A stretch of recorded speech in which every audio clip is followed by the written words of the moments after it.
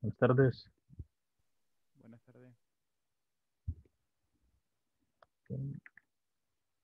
Bien. Entonces, eh, bueno, vamos a ir con, vamos a continuar con el contenido del curso. Lo último que habíamos estado revisando era qué es una matriz simétrica definida positiva. Vimos unas cuantas propiedades que, que la definían y otras cuantas propiedades que no son suficientes para garantizar que una matriz sea definida positiva, pero que sí son insuficientes para identificar cuándo no hay matrices eh, definidas positivas. Entre esas propiedades, la, una de las que vimos es que la, los elementos de la diagonal tienen que ser todos positivos. Ese es un criterio para encontrar matrices que no son simétricas definidas positivas. Decir, si nosotros tenemos una matriz en la cual no se cumpla que todas las entradas de la diagonal sean mayores que cero, entonces esa matriz no va a ser simétrica definida positiva. Pero eso no es garantía suficiente para decir que una que sí tenga todas las diagonales, todos los elementos de la diagonal positivos, eh, no, es, no sirve, no es suficiente para garantizar que sea simétrica definida positiva. El único que nos da la garantía de que sí es simétrica definida positiva eh, es que todos los autovalores sean estrictamente positivos. Si son simplemente mayores o iguales que cero, la matriz es simétrica eh, semidefinida positiva. Ok, entonces, eh, con este recordatorio, pues tomemos una matriz simétrica, simétrica definida positiva A y pues resulta que nosotros vamos a construir la factorización de Cholesky, una factorización que nosotros ya habíamos, eh, bueno, a algunos les salió de ejercicio de examen eh, demostrar que existe, ahí con debidamente en los pasos, dado que esta factorización surge de la factorización LU, entonces no hay ninguna sorpresa al respecto. Pero bueno, entonces, si tenemos una matriz que cumple ser definida positiva, va a existir una matriz que va a ser triangular inferior la cual vamos a llamar H, cuyas entradas de la diagonal principal son positivas, o sea que no viola lo que les había comentado antes, y además cumple esto, que la matriz A se puede escribir como H por H transpuesto. Entonces, esta forma de escribir A como un producto de matrices se conoce como factorización de Cholesky. Entonces, y esa siempre va a existir para matrices de este tipo, definidas positivas. Entonces tenemos un teorema que nos interesa bastante, sobre todo para y construir una factorización de, Cholesky, y es que si nosotros consideramos el proceso de construir la factorización LU de una matriz simétrica definida positiva, la cual vamos a abreviar así, entonces, si en el caso, en el caso K, perdón, habíamos dicho que lo podíamos, en el, paso K, nosotros pues solíamos representar eso como un A con un supraíndice K. Entonces, si a eso le llamamos el késimo paso de hacer la factorización LU, teníamos una matriz de esta forma. Tenemos la matriz triangular superior U sub K, K, en la parte de, aquí arriba. Abajo de ella quedaban ceros porque era la, la, esa triangularización que nosotros íbamos construyendo Aquí tenemos una matriz que simplemente eran unas cuantas modificaciones dependiendo del paso en el que estuviéramos. Recordemos que en la primera fila se mantenía tal cual, la segunda fila solo se modificaba una vez, la tercera fila se modificaba dos veces y así. Entonces, ahí van almacenándose todas esas filas hasta la fila K. A partir de la K más 1, tenemos una matriz que todavía estamos pendientes de transformar, que la vamos a denotar W sub n menos K, eh, n menos K. Eso simplemente, la notación es para ver el tamaño de la matriz. Entonces aquí el tamaño de la matriz es n menos K, n menos K. Y bueno, entonces, ¿qué, eh, ¿qué nos dice este teorema acerca de esta forma de representar la matriz A? Porque esto ya sabemos que se cumple, esto no es parte del teorema, esto se cumple a partir de la factorización LU entonces, el teorema lo que nos dice es que esta matriz de aquí abajo se mantiene simétrica definida positiva. Y además, eh, un aspecto un poquito eh, más técnico y es que la, si la, cualquiera de las entradas de la matriz A es menor o igual que 1, entonces la entrada correspondiente en este paso va a ser menor o igual que 1. Y vean que esta es de la matriz original. Si una de las matrices, perdón, si una de las entradas de la matriz original en valor absoluto es menor que 1, luego de hacer la décima iteración va a seguir siendo menor o igual que 1. Esto es útil sobre todo para cuestiones de estabilidad en el sentido de que a veces uno realiza cierto tipo de operaciones con la computadora y pues al hacer diferentes métodos, sobre todo en álgebra lineal, a veces uno no se queda con las eh, con el mismo orden de datos. Es decir, a veces uno está trabajando inicialmente con 0.01, 0.2, 0.05 y después de hacer varias iteraciones queda con 1000 por ahí. Entonces, eso no, no es bastante no es conveniente porque al final de cuentas eso afecta nuestra la norma de nuestra matriz. Entonces, esto es más que todo para eso, para decir que en realidad los cambios que hagamos no van a representar muchos cambios en la, norma de la matriz eh, a términos de medir el error, por ejemplo. Entonces, este es más que todo bastante técnico, pero si se cumple. Lo que nos interesa aquí es que esta matriz de abajo va a ser simétrica definida positiva. ¿Por qué nos interesa esto? Bueno, porque nosotros eh, nos interesa que sea simétrica definida positiva para aplicarle de nuevo el mismo proceso, básicamente. Ok. Entonces, este teorema es más que todo técnico, no lo vamos a demostrar como tal, simplemente nos es necesario tenerlo en cuenta, pero bueno, vamos ahora a analizar el algoritmo de Cholesky, vamos a tomar en general la idea con n igual a 3, es decir, una matriz de 3 por 3, vamos a construir el algoritmo de Cholesky, o mejor dicho, vamos a construir la noción que nos va a poder generalizar el, algoritmo de la factorización de Cholesky. Entonces, eh, nuestro plan inicial está así. Tenemos una matriz A de 3x3. Mm, tenemos las entradas aquí de forma arbitraria. Lo único que sabemos de A es que es simétrica definida positiva. Entonces, eh. Aunque aquí yo los puse con notación distinta, ya sabemos que este A31 de acá abajo es el mismo A13 de acá arriba. Porque es simétrico. Entonces, nuestro objetivo es construir esta matriz H que tiene que ser triangular inferior. Observe que no es triangular inferior unitaria, ya no necesariamente sea unitaria, pero sí triangular inferior. Ok, y eh, queremos construir esta matriz H de tal manera que este producto de H por H transpuesta sea igual a la matriz A.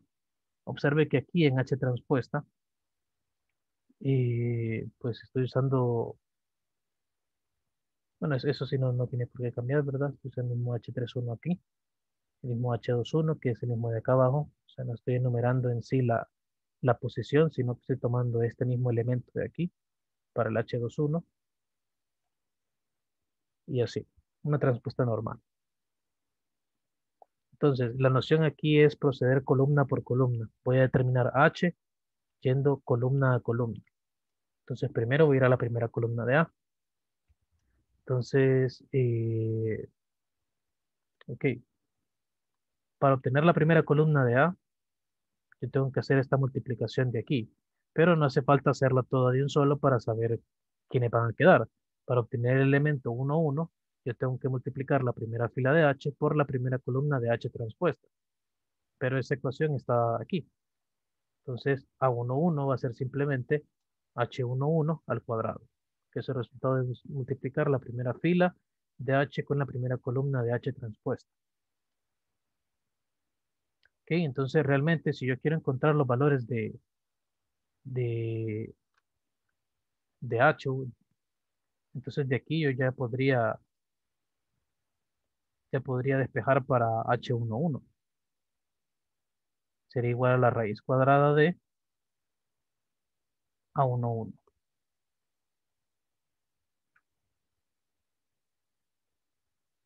Entonces ahí está.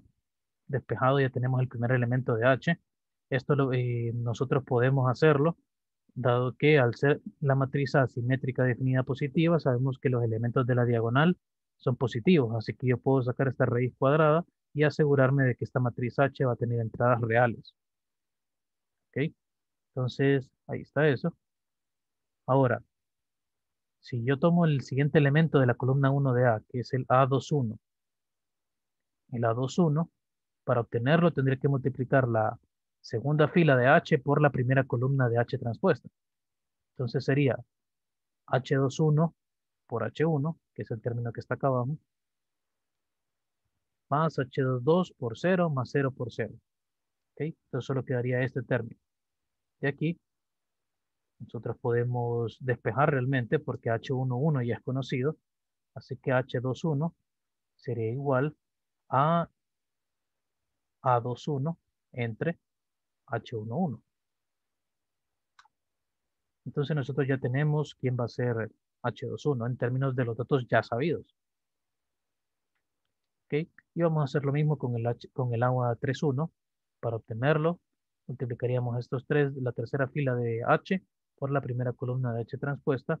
Solo el primer término no estaría multiplicado por 0, así que quedaría H31 por H11 y el despeje es exactamente igual que el de arriba. H31 es igual a A31 entre H11. Entonces, vean que prácticamente ya tengo toda la primera columna de H. Ya la tengo en términos de datos conocidos. ¿Ok? Entonces, eso ya me va dando una noción de cómo puedo ir procediendo. Veo que si empiezo columna a columna, yo voy determinando H columna a columna también. Ok, pasemos a la siguiente columna. Entonces, para el A12, multiplico la primera fila por segunda columna de H, H transpuesta. Entonces la primera fila es esta, H sería H11 por H21. Entonces yo de aquí realmente puedo despejar H21 y me queda A12 entre H11. Pero hay un detalle. Yo realmente, yo ya conocía H21 del paso anterior de la primera, de la, cuando analizamos la primera columna de A, yo ya conocía H21. Y aquí yo tengo otra expresión diferente, o al menos eso parece. Pero si tenemos en cuenta de que A es una matriz simétrica, entonces el A21 va a ser igual al A12. Entonces realmente son la misma expresión. Entonces, este, analizar el A12 realmente sobraba. Este no era necesario.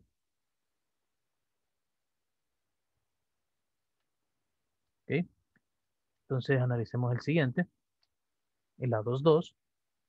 Eso lo obtenemos haciendo la repetida multiplicación de la segunda fila de H por la segunda columna de H transpuesta. Y lo que nos queda es H21 al cuadrado más H22 al cuadrado. Entonces, aquí como ya sabemos quién es H21, entonces tenemos que H22 va a ser simplemente la raíz cuadrada de A 22 eh, menos H21 al cuadrado. Ahí está. Entonces ya podemos conocer el H22. Ok.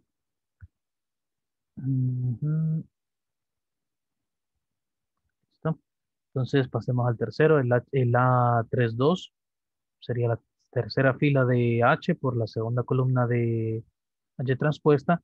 Quedaría entonces H31, acá arriba, H31 por H21, que es el primer término de acá, más H32 por H22. Y el, tercer término ya no lo tendríamos en cuenta porque sería H33 por 0. Entonces ya no está. ¿Ok? Eh, de aquí podemos despejar para H32. Sería el A32 menos. En este término estos dos ya son conocidos. em, permítanme. Eh, ah, sí, ya está conocido. El H31 está acá arriba y el H21 está aquí. Entonces son conocidos ya. H31, H21, todo esto dividido entre H22, que también es conocido de aquí. Ok, entonces de esta segunda columna lo que podemos analizar es que realmente no me interesan los términos que están, o sea, si estoy analizando la columna K, me interesan los términos a partir del K. Es lo que podríamos analizar de aquí.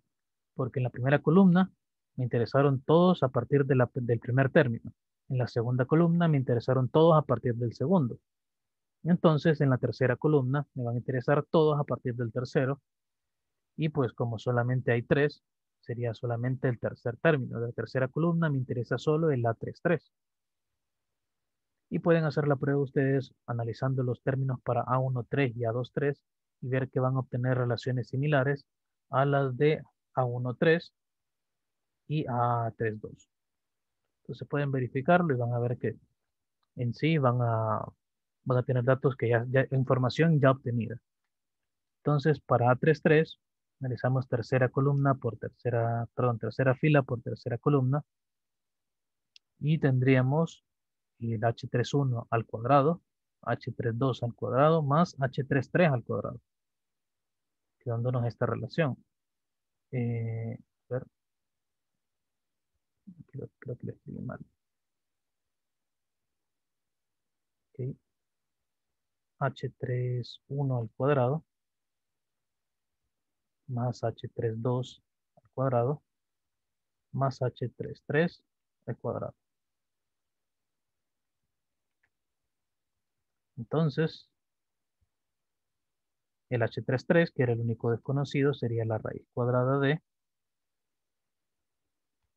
A33 menos H31 menos H32 al cuadrado. Ok, entonces aquí técnicamente ya tenemos todos los, los elementos de H, así que ya tenemos nuestra, nuestra factorización de, de Cholesky en sí. Sin embargo, para poder generalizarlo y generar un algoritmo, necesitamos obtener unas cuantas y generalizar unas cuantas cosas. Por ejemplo, vean que en los términos de, la, de A que corresponden a la diagonal, el A11, el A22 y el A33, todos tienen raíces cuadradas. Es más, antes de llegar a la raíz cuadrada, vean que el A11 son todos los elementos de la fila 1 al cuadrado. Pero realmente solo me interesa el primero porque los otros dos son 0. El A22 son todos los elementos de la segunda fila al cuadrado. Pero el tercero es 0, así que por eso no aparece. Y en la última son los, todos los de la tercera fila al cuadrado.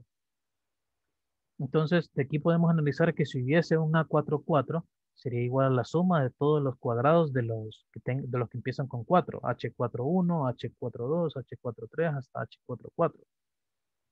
Y la expresión sería muy similar a las que vemos aquí. En, en el último que hicimos aquí fue A33 menos H31 al cuadrado menos H32 al cuadrado. Y si hubiese un A44, aquí faltaría restar un menos H33 al cuadrado. Y aquí sería H44.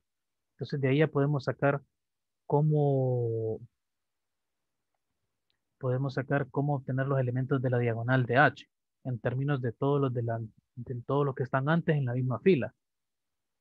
Ok. Entonces ya sabemos cómo sacarlos de la diagonal. Tenemos una noción de cómo generalizarlo. Ahora nos falta ver cómo generalizar los otros. Entonces, en la primera columna es bastante sencillo. Simplemente hubo que dividir de un solo entre el H11. Eso fue todo. En la segunda columna también dividimos entre H22, pero tuvimos que hacer una pequeña resta aquí. Tuvimos que hacer el H33 H31 menos el H2, perdón, tenemos que restar a A32, le tuvimos que restar H31 por H21. Ok, y en, eh, en la última en sí no lo hicimos, porque ya lo teníamos todo. Y pues quizás este sería el más complejo de analizar cómo generalizarlo, pero la noción sería que aquí estamos en la segunda fila. Entonces, eh, observen que aquí el elemento es el 3,2. Entonces vamos a tomar los H3 y el H2 que ya conocemos, que son los de la columna 1. Entonces por eso el subíndice 1 aquí. Si, si necesitásemos, por ejemplo, aquí lo voy a poner aparte. Si necesitáramos un H 4,3, por ejemplo, la noción sería algo parecida. Primero vamos a dividir entre, em, vamos a ver,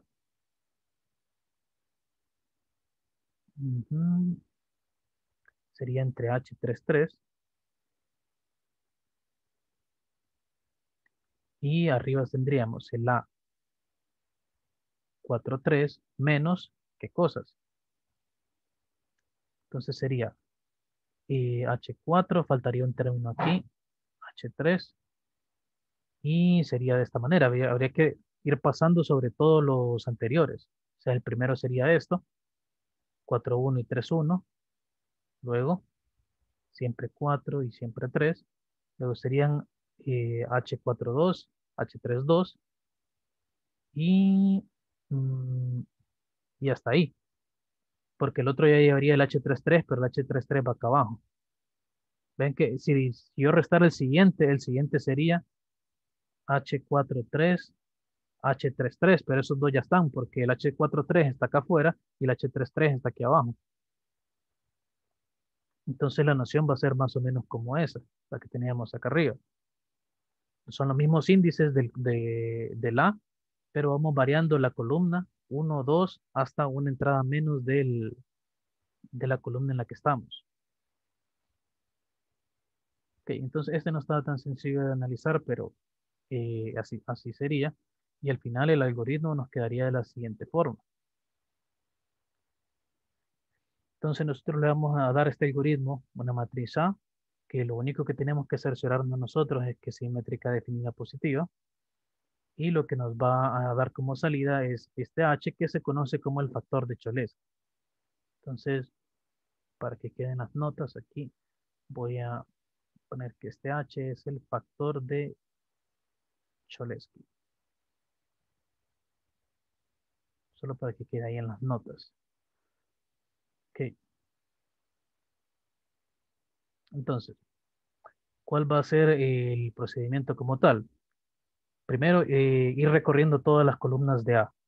Eso fue lo que hicimos en el proceso anterior. Ir recorriendo columna a columna. Ok. Entonces, vamos a recorrerlo con este for sobre K.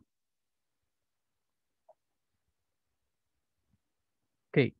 Entonces, eh, lo primero que hacemos en cada, en cada una de las columnas es encontrar el H de la diagonal principal. Ven que lo primero que hicimos en la columna A fue encontrar el H11. Lo primero que hicimos en la segunda columna, si obviamos este paso que no era necesario, fue encontrar el H22. Así que siempre el primero que encontramos es el de la diagonal principal, porque después lo necesitamos en los demás. Queda dividiendo. Entonces, en cada uno de los pasos encontramos el HKK con la forma que les dije.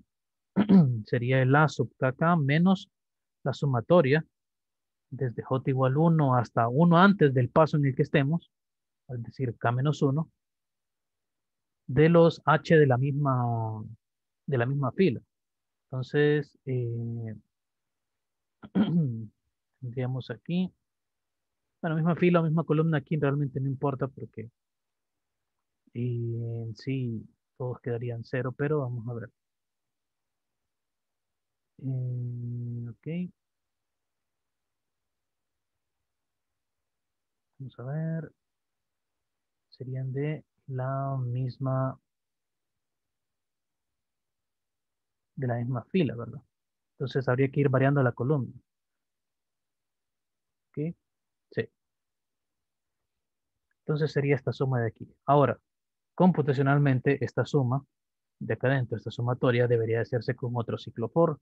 Así que si quisiéramos hacer un conteo de flops aquí, aquí adentro hay otro ciclo for implícito para hacer todas estas sumas desde 1 hasta acá. Ok, pero aquí no vamos a hacer en sí el conteo de flops, solamente se lo digo como comentario. Ok, y porque al final de cuentas lo vamos a necesitar programar para más adelante. Ok, eh, luego, una vez tenemos el, H, el HKK, eh, que es el que va dividiendo, vamos a ir construyendo el resto, los de la columna de H, perdón, los de esa misma columna. Entonces, para los siguientes elementos, recuerden que empezamos desde la diagonal principal hacia abajo. Entonces, eh, vamos a tomar los H y K, columna K, en la que estamos fijados, y vamos variando la fila. Y esa fila nos interesa a partir del que está después de la diagonal, es decir, del K más 1. Entonces, eh, si quieren un, esquema de cómo vamos, estamos en la columna K. Aquí está el, el HKK. Y entonces estos términos de acá abajo son los que vienen justo abajo, justo después.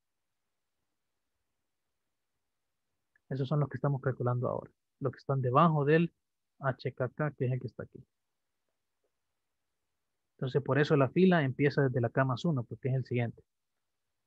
Entonces, la estructura es 1 entre HKK, que es la misma estructura que vimos antes, y luego los mismos índices de la, de, que vamos a tomar de la matriz original A, le vamos a ir restando estas multiplicaciones, que como les dije, el, la fila van a ir dada por estos mismos índices HI y HK, y lo que vamos a ir variando son las columnas desde J igual a 1 hasta 1 antes de la diagonal principal. Entonces, esta, este recorrido de las H va más o menos en este sentido. A ver.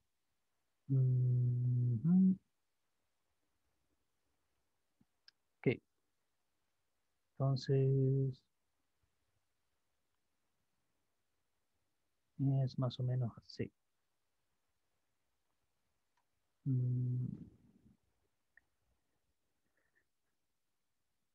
A ver, si quieren los de la fila I, entonces ya algo así.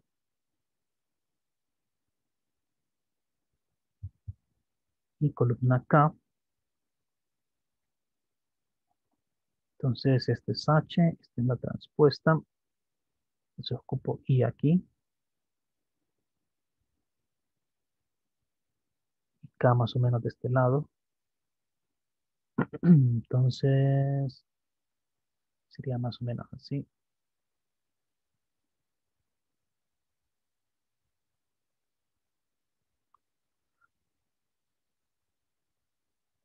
Entonces, cierto, quería multiplicar esta por esta.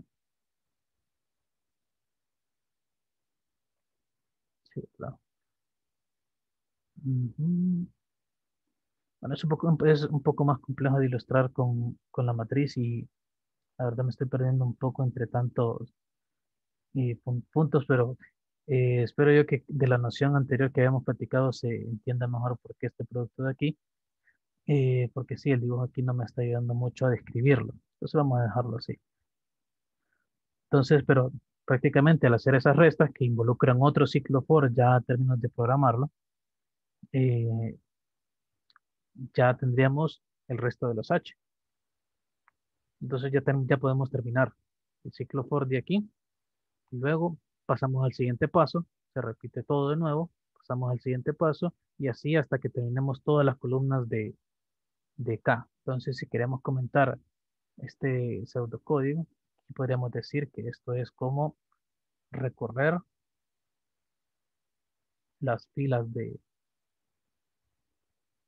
Aquí podemos decir de H o de K, perdón, o de, o de A, porque realmente al recorrer, nosotros lo hicimos recorriendo las filas de A, pero lo que vamos dejando es que en cada fila, mejor dicho, en cada paso, perdón, columnas eran, al recorrer las columnas de A, vamos encontrando las columnas de H, así que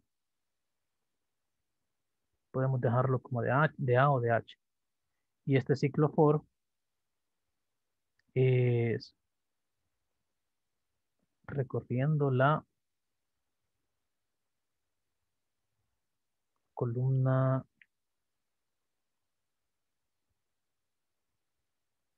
K de A o de H. Nuevo, no importa si es A o H porque al recorrer las de A vamos encontrando las de H.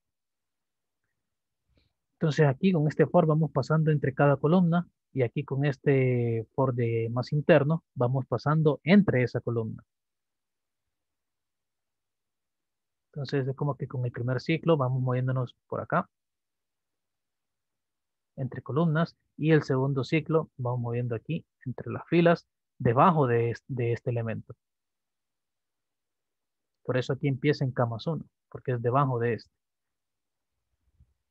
Ok. Entonces, en lo que llevamos aquí del algoritmo, no sé si hay alguna duda que tengamos que aclarar.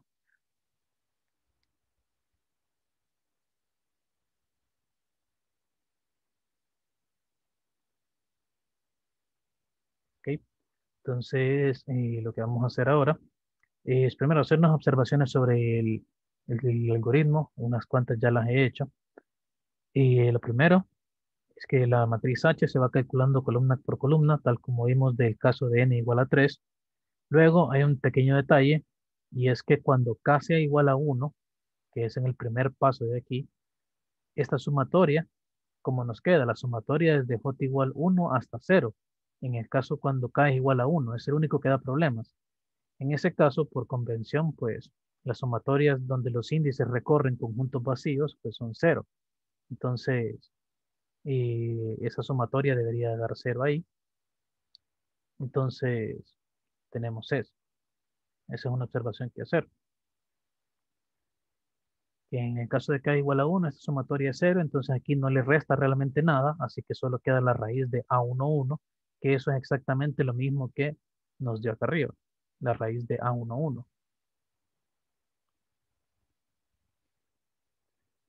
Y lo otro es que el hecho de que la matriz sea simétrica definida positiva es lo que nos garantiza de que estas entradas de aquí vayan a ser siempre positivas. Entonces tenemos esa garantía.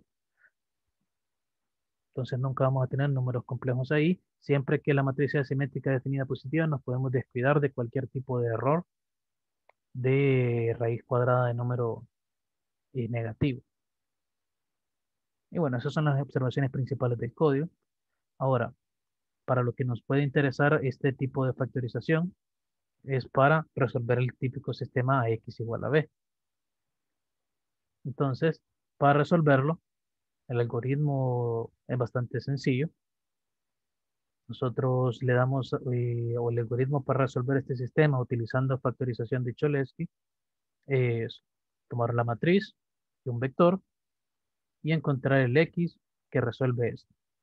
Los pasos son tres, bastante sencillos. Primero encontrar la factorización de Cholesky y luego resolver estos dos sistemas. Entonces, ¿de dónde surge resolver estos dos sistemas? Pues eh, surge de esto.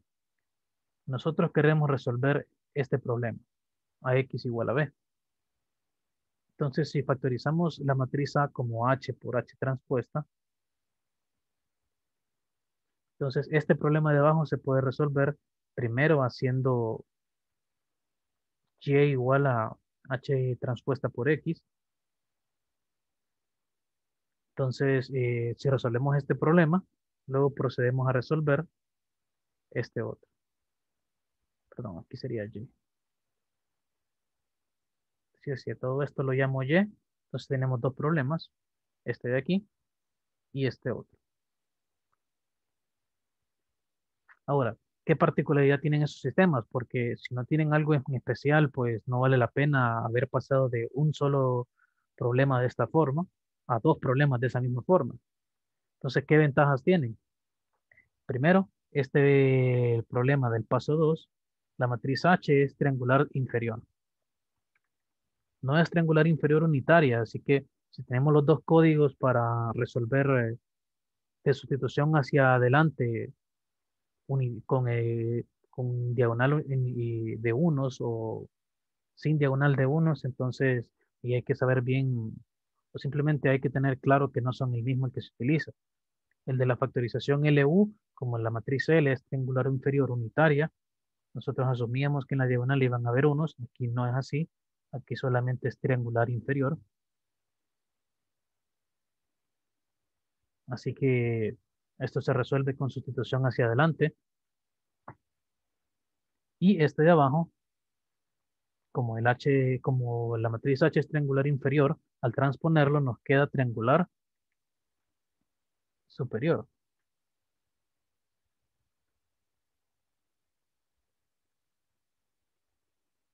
Entonces, si es triangular superior, esto, este segundo sistema se resuelve simplemente con sustitución hacia atrás. Y esta sí es la misma que hicimos con la factorización LU. Ok, entonces vamos a ejemplificarlo rápidamente con este problemita de aquí. Y pues bueno. Entonces, ¿qué hacemos primero? Para resolver, eh, se nos pide resolver a x igual a b.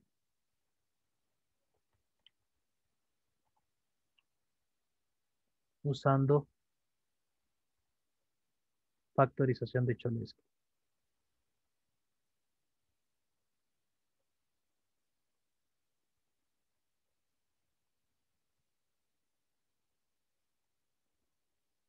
Entonces, primero nos toca encontrar la factorización de Cholesky de A. Entonces, A sería igual a H por H transpuesta, que tiene la misma forma que acabamos de hacer.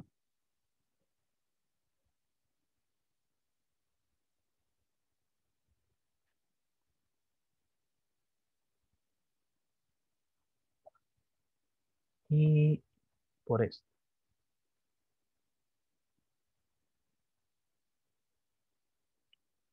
Esta es la transpuesta.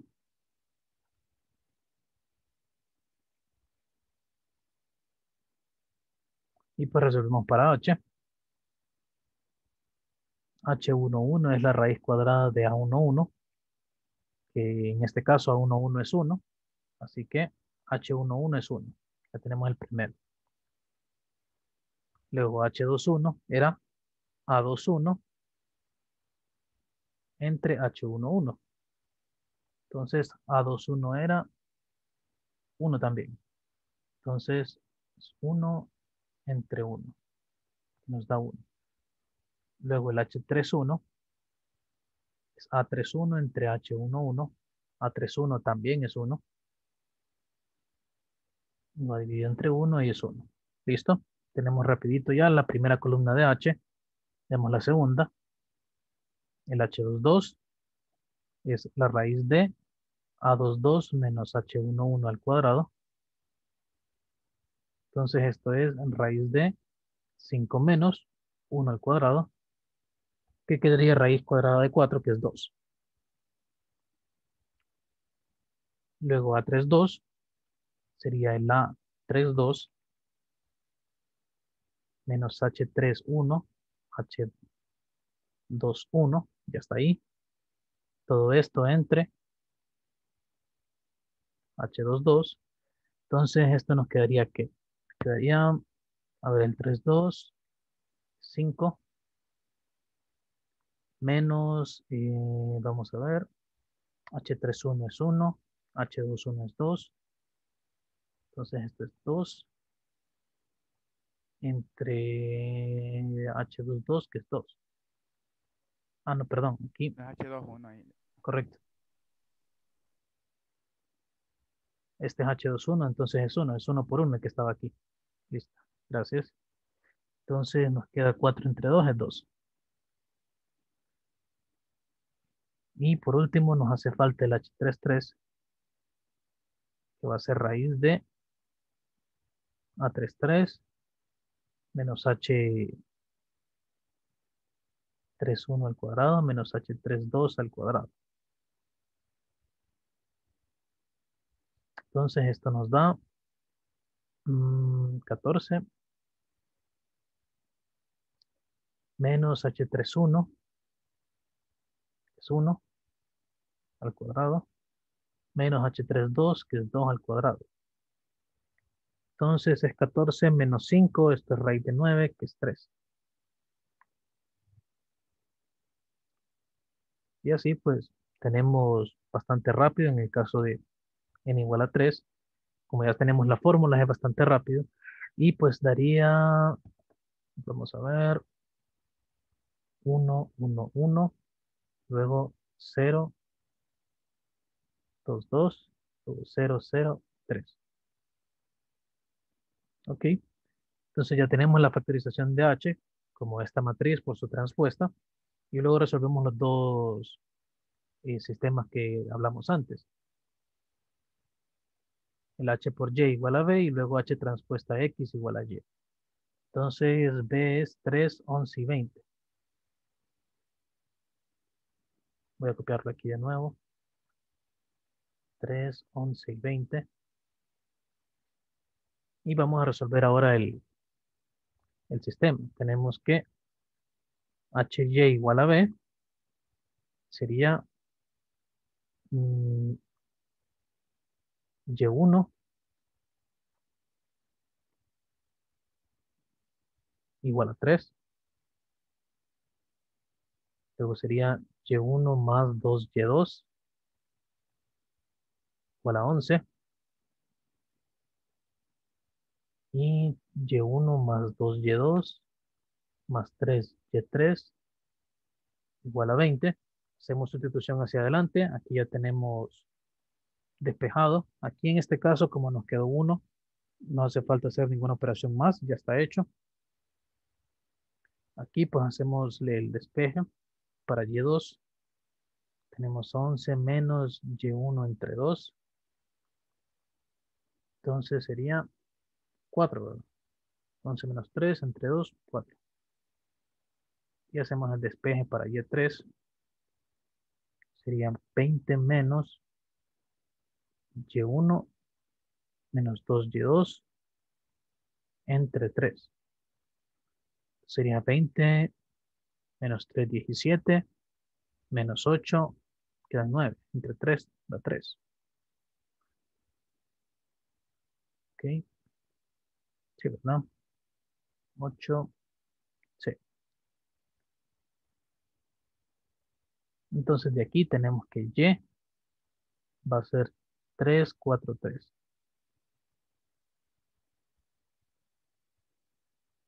Y ahora resolvemos H transpuesta por X igual a Y. Entonces esto nos va a quedar H transpuesta. Mm, Voy a escribirlo matricialmente y luego como ecuación. A ver, H transpuesta sería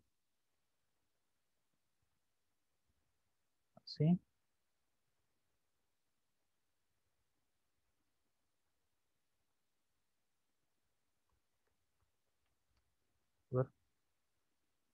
No es 2, 2, En la posición 2, 3.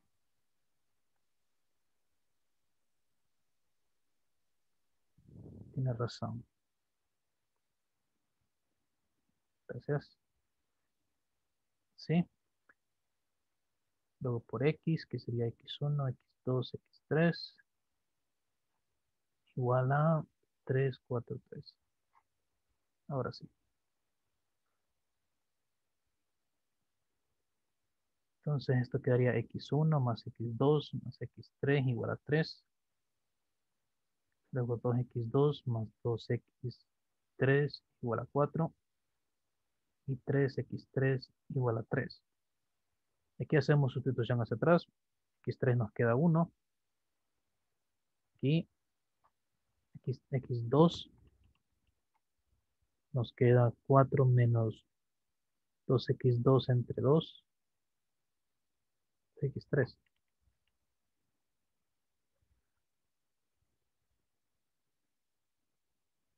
Sería 4 menos 2 por 1 entre 2 queda 1. Y de aquí arriba tenemos que x1 va a ser 3 menos x2 menos x3. Que nos queda 3 menos 1 menos 1. Es igual a 1. Entonces X nos quedó 1, 1, 1. Ok, y pues lo podemos corroborar. Revisemos acá arriba. Ok. Multiplicar A por 1, 1, 1 es sumar fila por eh, todos los elementos de la fila. Entonces, 1, 1, 1 da 3. 1, 5, 5 da 11. 1, 5 y 14 da 20. Está bien. Sí resuelve el problema. Entonces ahí está, usando la factorización de Cholesky.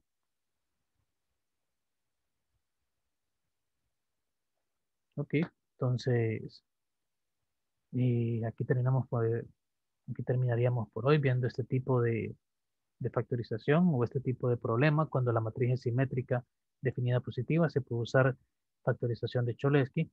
El día de mañana vamos a trabajar eh, utilizando eh, o vamos a resolver el, problema de Hessenberg, donde vamos a utilizar matrices de Hessenberg que no le hemos estudiado mucho, pero son bien fáciles de definir. Entonces, vamos a ver cómo podemos cambiar lo que hemos hecho con la factorización LU para resolver el sistema de Hessenberg. Entonces, para aprovechar un poquito el tiempo, solo les voy a, igual lo vamos a ver mañana, pero igual les voy a definir qué es una matriz de Hessenberg una matriz de Hessenberg es como una matriz triangular superior con una diagonal extra. Explico. Son, si yo tengo una matriz triangular superior como esta,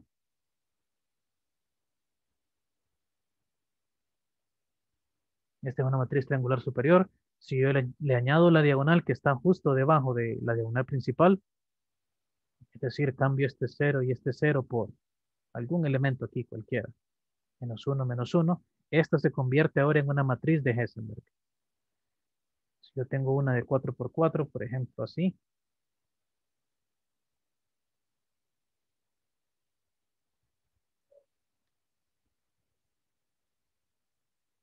Esta es una matriz triangular superior. Para volverla de Hessenberg, cambio la diagonal que está aquí, debajo de la diagonal principal, y le pongo cualquier cosa. Incluso voy a cambiar este un 2. Entonces, esto va a ser una matriz de Hessenberg. Entonces, esas son las, las situaciones que tenemos. ¿Cómo vamos a resolver el sistema AX igual a B? Cuando la matriz A es una matriz de Hessenberg, que es una matriz que casi es triangular superior, pero no, de, pero no del todo, porque tiene esta diagonal aquí que hay que simplificar. Eso lo que va a hacer si se lo resumo en palabras nada más, es que nuestro proceso de eliminación gaussiana sea mucho más corto porque sabemos que no hay que llegar hasta el final de la columna, sino que de la diagonal principal solo hay que hacer cero a un término y siempre solamente a uno. De ahí lo demás ya va a quedar. Entonces la factorización LU es mucho más rápida. Entonces no es conveniente que nosotros hagamos eh, o que le apliquemos la factorización LU que normalmente usamos porque esa factorización va a intentar hacer cero todos los demás y eso, eso, incurre en una pérdida de tiempo porque estamos intentando hacer ceros elementos que ya son cero. Entonces va a tocar el, modificar un poco el eh, modificar un poco el algoritmo de la factorización LU para adaptarlo a matrices de Hessenberg. Eso es lo que vamos a hacer mañana y dependiendo de qué tan rápido lo hagamos, vamos a ver eh, cómo vamos a ver un poquito sobre matrices diagonalmente dominantes. Pero vamos a ir viendo entonces. Por hoy vamos a quedar hasta aquí. No sé si hay alguna duda antes de continuar. No, le. Perfecto. Entonces, quedamos aquí por hoy. Sigamos mañana. Que tengan feliz tarde. Igual, igual. Feliz tarde. Gracias.